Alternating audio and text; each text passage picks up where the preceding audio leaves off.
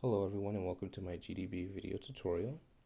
GDB is just open source software that you can go and use to debug your programs. It's used by uh, professionals as well as beginning level programmers all over the world.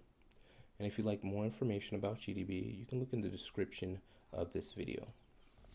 And with that being said, let's go ahead and begin the tutorial. So what I'm going to go and do in this tutorial is we're going to look specifically at segfaults and also uh, why we would need GDB. So first I'm just going to go and compile this program and indeed it did compile successfully. We didn't get any uh, errors or so we know it did compile successfully and then we're just going to go ahead and run that executable. Now again we're going to be looking at segfaults so I'm going to enter 0 and basically it's just going to call a function. So we type 0 and all we got was a segfault. We don't know where or uh, what line of code that was. All we did was type 0, it called a function, and that gave us a segfault. Let's go and run it again, and this time we'll enter 2 for a different function, and also that produced a segfault. So it's just telling us what so far. That's the only thing we've got when we just uh, compiled regularly without uh, any debugging tools. Now let's go ahead and compile and we'll add the dash G flag on that test gdb.cpp. And now we'll just type GDB and then the name of the executable file. And you can see it gives us a little bit of information about GDB and then also has this prompt at the bottom. So let's just go ahead and run regularly and we'll type 0 and we see this time when it's segfaults it actually gives us information regards to that.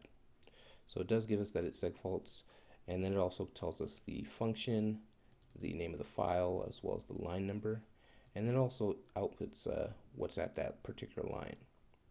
So that's a lot more information that we got previously. Before it just gave us a seg fault, so we didn't even know which function uh, that was.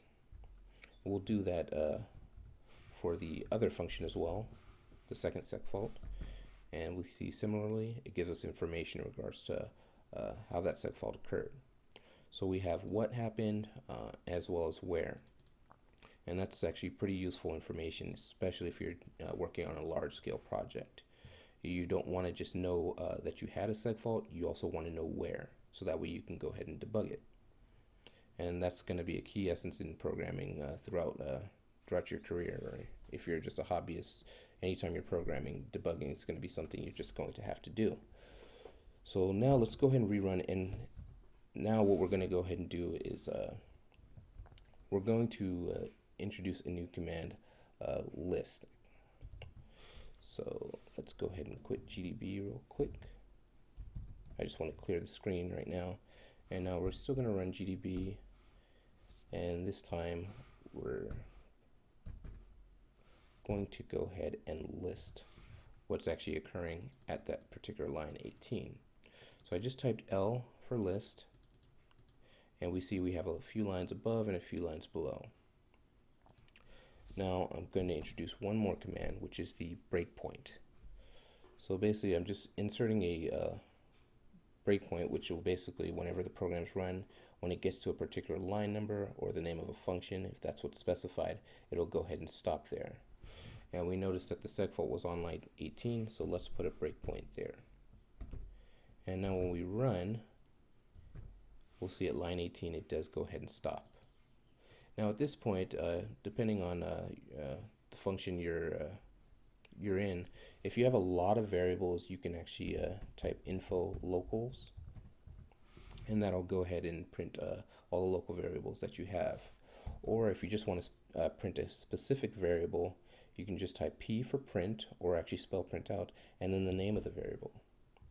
So basically the key difference is if you know the names uh, of the variable, you can use p if you just want to uh, print that specific variable, or if you just want to know what variables uh, you have within scope, you can do info locals, and that'll give you a little bit of information about all the local variables that you have.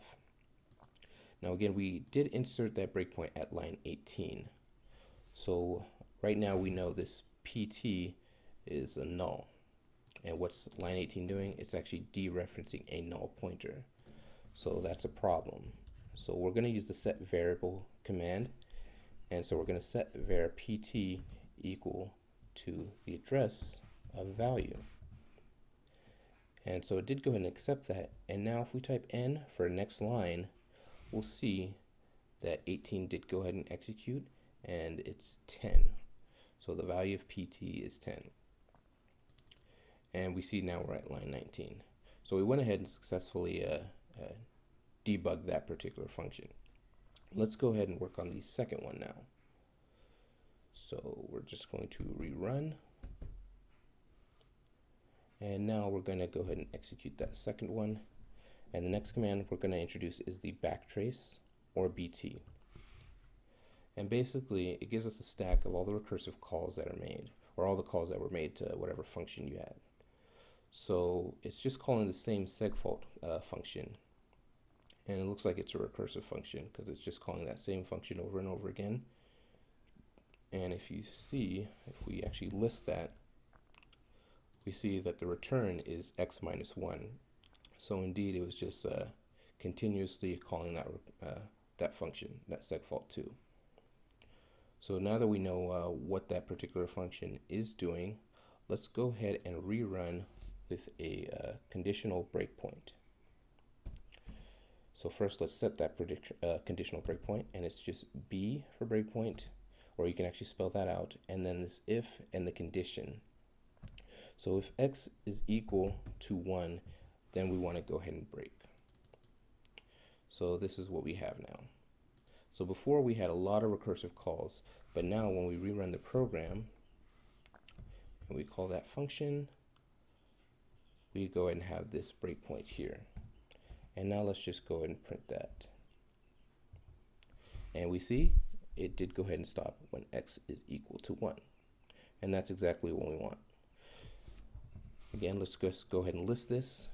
And we see basically I just commented out uh, the uh, base case on this particular function. But we are able to go ahead and test within GDB to see what we would need to do to go ahead and correct this particular segfault. So all we've done is actually worked in GDB. We didn't even touch the source code. We just tested uh, the different functions and now we know exactly what we need to change. So we can just go to the source code, uh, make those changes, recompile it, and we can be fairly confident that uh, we've successfully, uh, we have a much stronger program uh, than what we had previously. So I hope this uh, shows you how important GDB is and how powerful it is. And thank you for watching.